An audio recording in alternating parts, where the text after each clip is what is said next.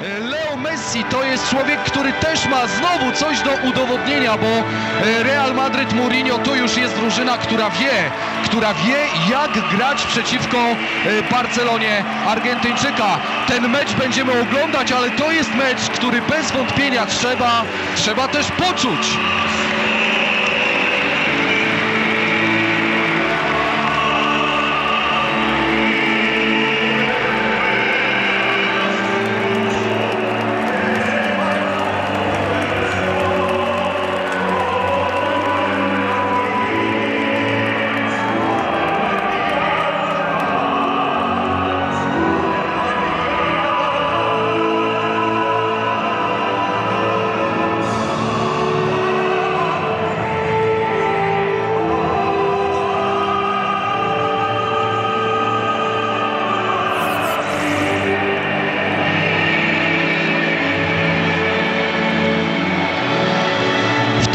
Składzie mecz rozpocznie Real Madryt w bramce 25 Diego Lopez, e, poza nim z dwójką Varane, z trójką Pepe, z czwórką Ramos, z piątką Quentrao, 8 Kaka, 9 Benzema, 15 Essien, 19 Modric, 21 Callejon i 29 e, Morata na ławce, Kedira, Ronaldo, Ezil, Arbeloa, Higuain, e, także Carvalho i drugi bramkarz w tej chwili Adan, zatem Real dzisiaj bez Di Marii, bez Bez Xabiego Alonso, bez Marcelo, oczywiście e, ta czwórka dzisiaj pauzuje z różnych przyczyn. No i taki skład właśnie życzyli sobie zobaczyć kibice Realu Madryt, czy to jest sygnał wysłany w stronę Barcelony i jej fanów, weźcie sobie tą ligę i wiadomo co z nią zróbcie, no nie chyba. Chyba po prostu wierzą w tych piłkarzy, którzy dzisiaj grają kibice Realu, a oto skład Barcelony w bramce z numerem pierwszym Victor Valdes, dalej 2 Dani Alves, 3 Piqué, 4, 7 David Villa, 8 Andres Iniesta, 10 Leo Messi, 11 Thiago, 14 Javier Mascherano, 16 Sergio Busquets, 17 Pedro, 18 Jordi Alba, wreszcie Dawid Villa pierwszy raz w tym sezonie w meczu przeciwko Realowi Madryt wybiega w wyjściowej 11, ale tego domagał się sam Leo Messi. Nie ma za to Szawiego. Ten piłkarz jest kontuzjowany i być może nie zagra także w meczu z Milanem. To jest bardzo ważny mecz e, dla dwójki piłkarzy Realu, dla Benzemy i dla Kaki. Ten drugi ostatnio w coraz lepszej dyspozycji. On ma zresztą znakomite wspomnienia, e, jeśli chodzi o rywalizację z Manchesterem United, kiedy był jeszcze piłkarzem e, Milanu. I kto wie, gdyby dzisiaj Kaka zagrał coś ala mecz życia, kto wie, czy on nie wskoczy do pierwszego składu na wtorkowy mecz Champions League. Pierwszy prosty błąd na Bernabeu w to bardzo słoneczne w tym momencie upalne, bo słońce przygrzewa nam prosto w głowy. E, Popołudnie pierwszy błąd e, Jordiego Alby, Essien. Ronaldo domagał się od Jose Mourinho, by dał mu dzisiaj zagrać, ale zobaczmy oto akcja Realu. Znowu akcja konstruowana przez Kakę, od razu pojawił się tutaj Essien, Essien tak na 12 metr, ale żaden z graczy w białym stroju e, nie potrafił e, przejąć piłki. Gramy dalej, nie było faulu, świetnie Ramos na wyprzedzenie, Morata jest teraz z lewej strony, zmierza do niego powoli e, Dani Alves. Morata, gol! Gol! Karim Benzema! Kiedyś strzelił Barcelonie e, gola w pierwszej minucie i dzisiaj e, naprawdę zrobił to znowu bardzo szybko. Ale świetne dośrodkowanie Alvaro Moraty, Karim Benzema. Dwa ostatnie mecze Realu Madryt, 180 minut e, w meczach z Rajo i z Barceloną. Spędził na ławce rezerwowych, ogryzając e, paznokcie. Teraz e, dostał swoją szansę, no i znakomicie się znalazł. Znakomicie uwolnił się w polu karnym spod opieki obrońców Barcelony, ale popatrzmy jeszcze raz przede wszystkim dlaczego Alvaro Moracie pozwolono tutaj dośrodkować. No nie, to jest pierwsza rzecz. Dani Alves zbyt pasywny, naprawdę bez walki przegrał e, ten moment, kiedy Morata chciał piłkę dośrodkować. Nie był zdeterminowany, no a potem jest jeszcze Mascherano, e, który chyba na początku kontrolował pozycję Benzemy, ale e, potem było już zupełnie inaczej. Mascherano też za wolno zmierzał w stronę linii w bramce Barcelony.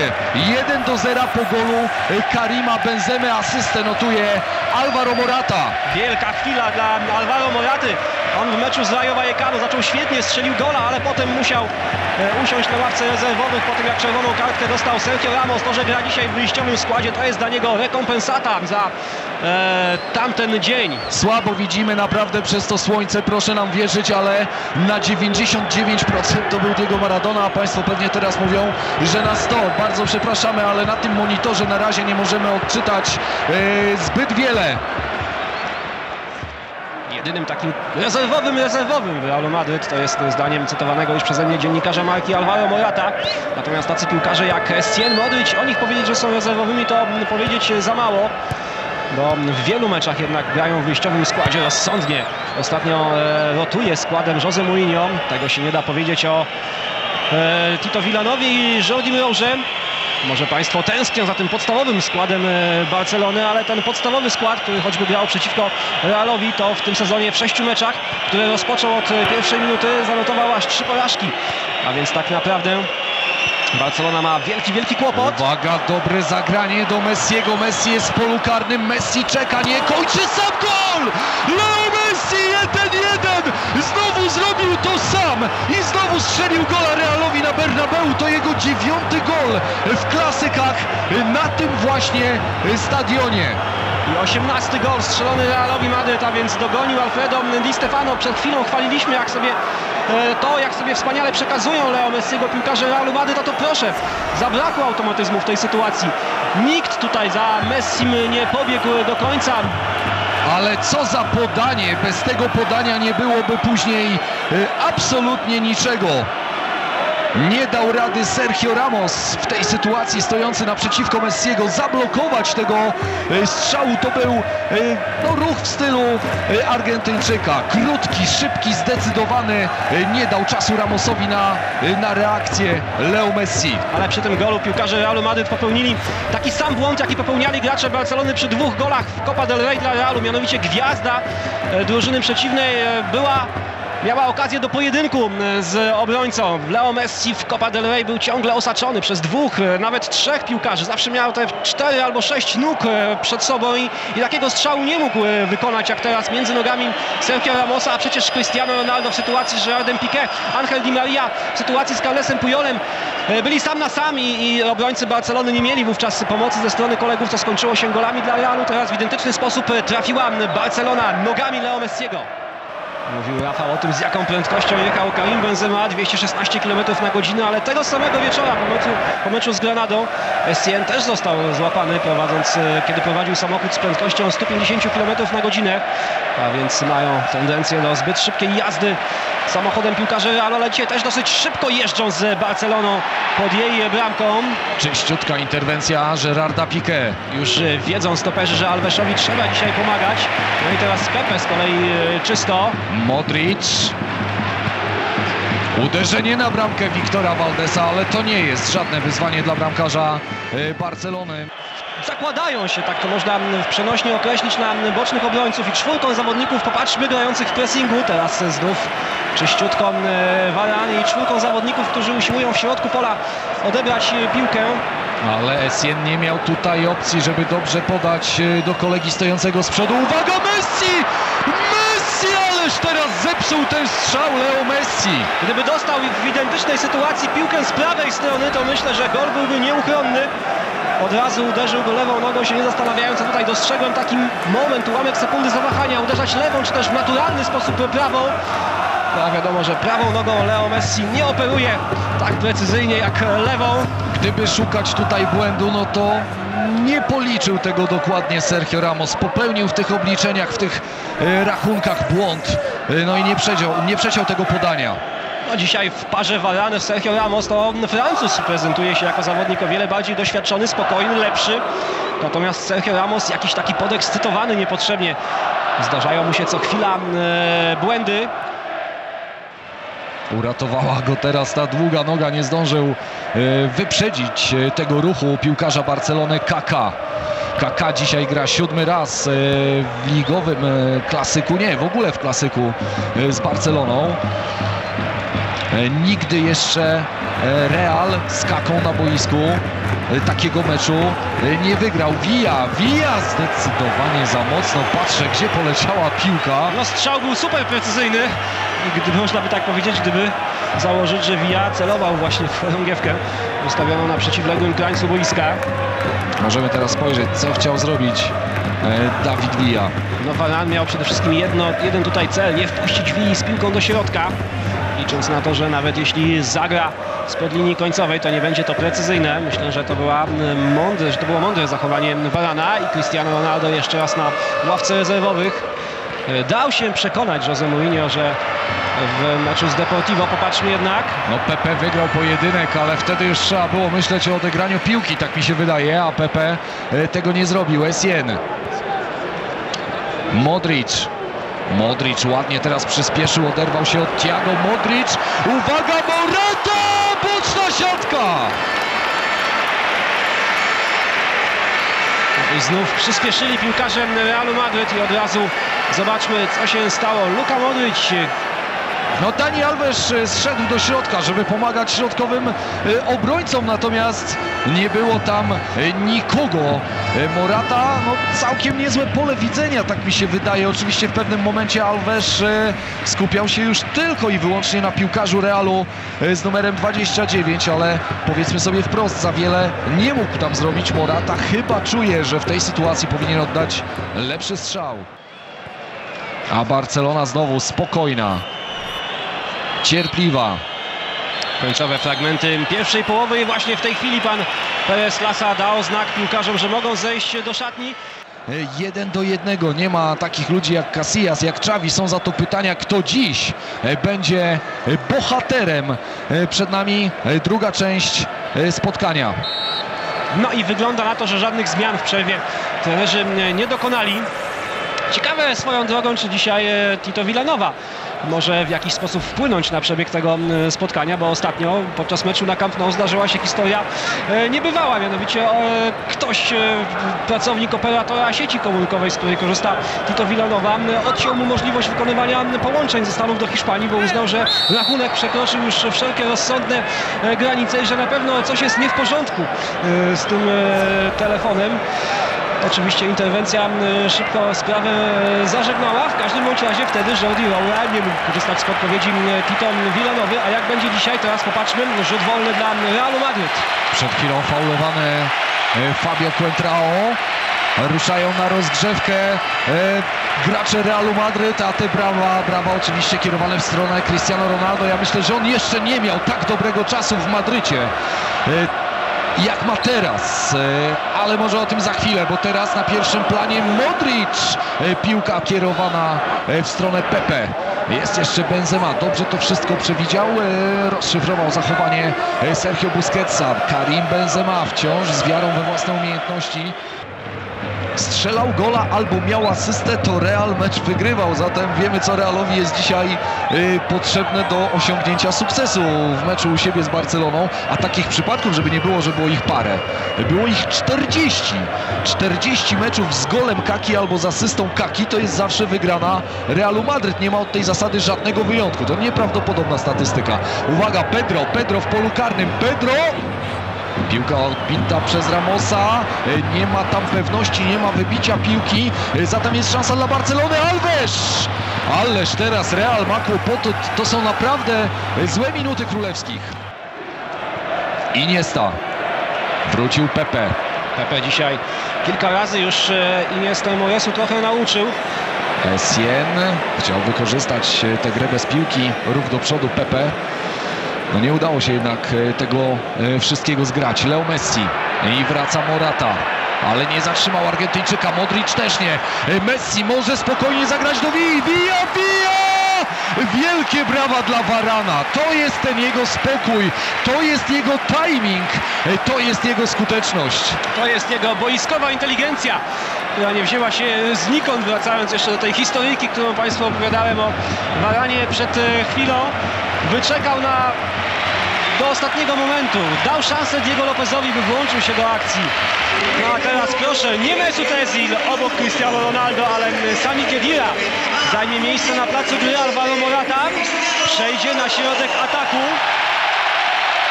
No a Kaka obok Karima Benzemy opuszcza w tym momencie plac gry. Myślę, że Kaka nie pokazał dzisiaj Jose Mourinho, że jest y, piłkarzem, na którego można liczyć w tych najważniejszych spotkaniach. Sami Kedira i Cristiano Ronaldo będą grać w tym meczu y, ponad y, pół godziny. No i co teraz? E, Luka Modric już widzimy teraz ustawiony zdecydowanie e, bardziej ofensywnie. Świetne zagranie Quentrao od razu w stronę Cristiano Ronaldo. Ronaldo kontra Piqué. Wszyscy pamiętamy pojedynek y, z Camp Nou, który zakończył się rzutem karnym. Jest kartka dla Gerarda Piqué. Jest kartka dla Gerarda Piqué. Real Madryt ma rzut wolny. No chyba wszystkim się przypomniało to starcie, ten pojedynek Popatrzmy, właśnie. co tutaj, czy tutaj w ogóle było jakiekolwiek kopnięcie Cristiano Ronaldo przez Gerarda Piqué. Te dwie powtórki skłaniają mnie raczej do wniosku, że nie. Że teraz... Spójrzmy, spójrzmy jak jest. No jeden jest cwaniakiem, jest lepszym cwaniakiem, bo wie, że jest szybszy i wie, że ten drugi zazwyczaj się w takich sytuacjach spóźnia. To też wyglądało jak pójście na raz. No po prostu y, Piqué czasami podejmuje takie ryzyko. Jak nie trafi, no to ma przechlapane. No i popatrzmy, rzut wolny. Cristiano Ronaldo bardzo mocno, ale pomurze. Quentrao. Natomiast e, ostatnio coraz więcej ekspertów, autorytetów e, właśnie pyta, pytanych o najlepszego piłkarza świata wymienia Cristiano Ronaldo, a nie Leo Messiego. Wydaje się, że w tej chwili po tak w jednej szóstej wyścigu o miano najlepszego piłkarza 2013 roku to Cristiano e, tak dwie, trzy długości odsadził Leo Messiego, mimo że strzelił tylko jednego gola więcej w tych e, dwóch e, pierwszych miesiącach. No w dwóch to strzeliło dwa gole więcej, bo dzisiaj już mamy marzec. Popatrzmy, Pepe to jest kartka następna w tym meczu. Mnóstwo tych kartek mamy w drugiej połowie. Nie ma żadnych wątpliwości. No, Tiago przestraszył się tutaj tego, co się stało. Nie chciał, żeby ta akcja miała dalszy ciąg. Wiedział, co robi. Nie chcę, ale muszę, tak można by skwitować. 39 goli Ronaldo w 39 meczach w tym sezonie. Ronaldo gol nie! Ależ- Broni Wiktor Valdez. Ależ ta piłka leciała, nam się kręciła w oczach, kiedy obserwowaliśmy jej trajektorię na drodze od miejsca wykonania rzutu wolnego do bramki Valdesa. No i Valdesowi też się, e, myślę, kręciła. Alves, Thiago.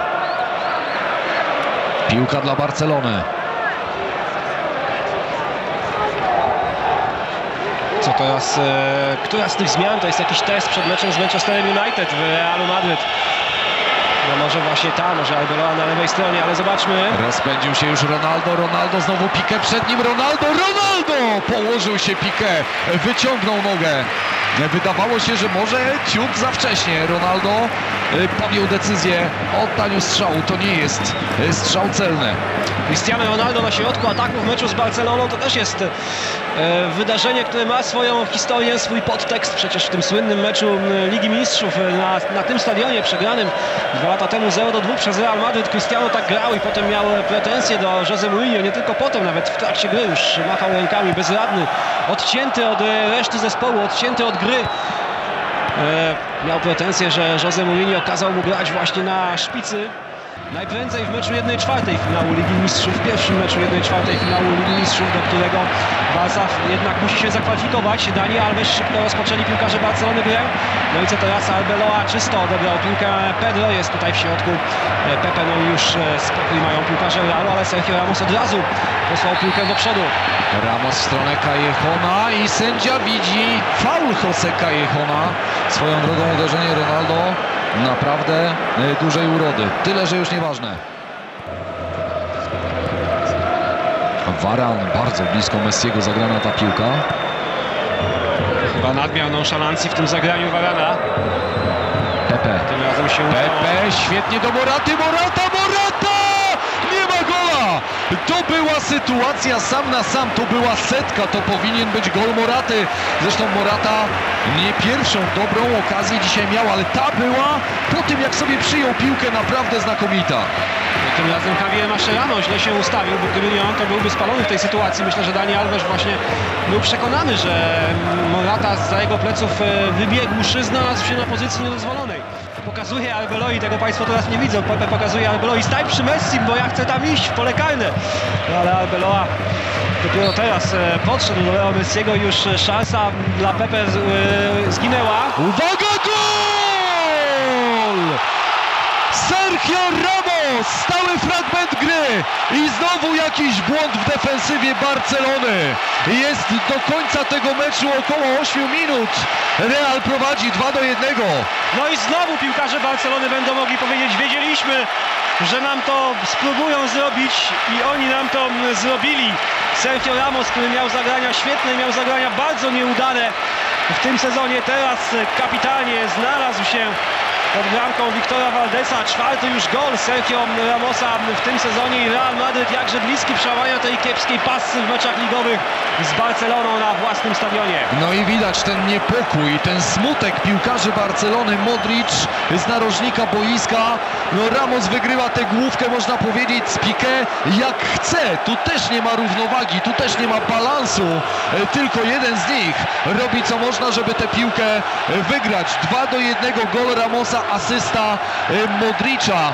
I mamy Mamy już tylko kilka minut do końca tego e, spotkania co do oblicza Jordiego Roury, miny Andresa Iniesty. E, No właśnie tego chcieli dzisiaj gracze Barcelony uniknąć, bo porażka tutaj z tym Realem, który oszczędza wielu, wielu najlepszych piłkarzy na Manchester United, ona atmosfery nie poprawi, to trzeba sobie powiedzieć wprost. Gerard Piqué popełnił e, stary błąd obrońców, e, mianowicie nie, nie szedł na piłkę. Czekał aż piłka przyleci do niego, aż spadnie mu na głowę. No a Sergio Ramos atakujący futbolówkę z dużą dynamiką e, w tej sytuacji bardzo łatwo z nim wygrał pojedynek. Tejo.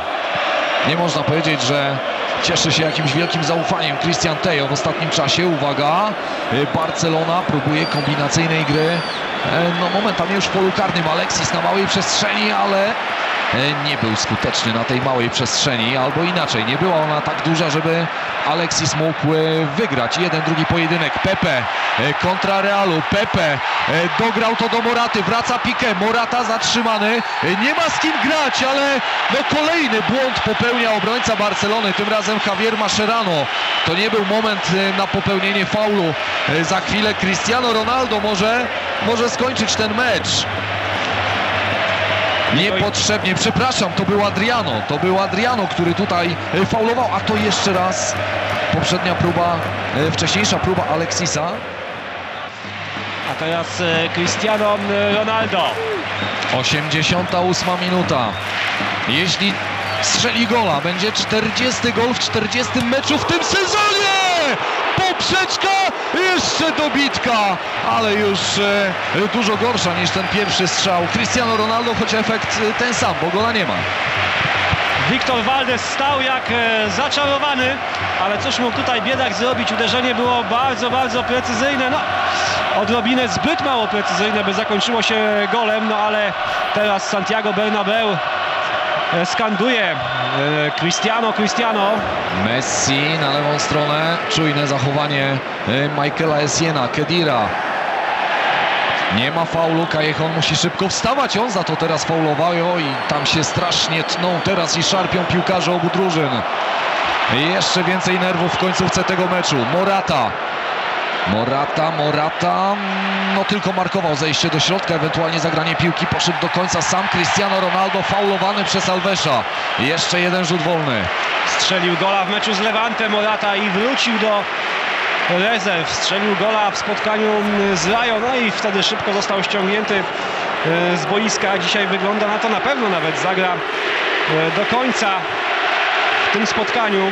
To jego już ósmy występ w tym sezonie, ale popatrzmy tymczasem na powtórkę strzału Cristiano. Tak, tak, bo tu nie chodzi o dobitkę Pepe. No gdyby ten strzał był odrobinę bardziej precyzyjny, to, to dostalibyśmy definicję strzału e, w okienko. Ronaldo zablokowany przez Alvesa, ale jest, jest kolejny stały fragment gry dla królewskich. Dominacja Realu w tych ostatnich minutach nie podlega dyskusji. Bezradni piłkarze Barcelony jak w meczu Copa del Rey. Jest dośrodkowanie, był Ronaldo między innymi w polu karnym, ale tam dwóch piłkarzy Realu w sumie walczyło z trójką e, graczy Barcelony. Ronaldo. Jeszcze jeden faul Daniego Alvesa. Raz za razem Alves teraz fauluje Ronaldo. Jest żółta kartka. No to jest między innymi to, co Ronaldo daje drużynie, bo to jest ten oddech, to jest ten spokój, to są te wygrane pojedynki, to są te momenty, w których jakby Ronaldo chciał pokazać całemu światu, ten gość nie ma na mnie sposobu, on może mnie tylko faulować, to rywali de deprymuje, to im przeszkadza, a, Madryt wtedy rośnie. Cristiano Ronaldo jest jak walec z piosenki Wojciecha Młynarskiego.